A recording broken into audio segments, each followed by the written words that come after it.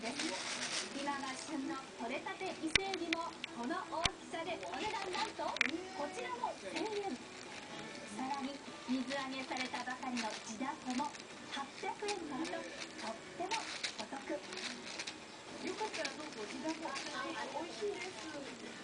もちろん試食もできますよ大根なんですはい。好きな人も味わうんですけれども好きな人も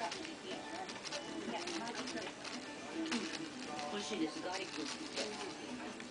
新鮮な地だこはガーリックオイルにつけて食べるのが葉山スタイルだとか。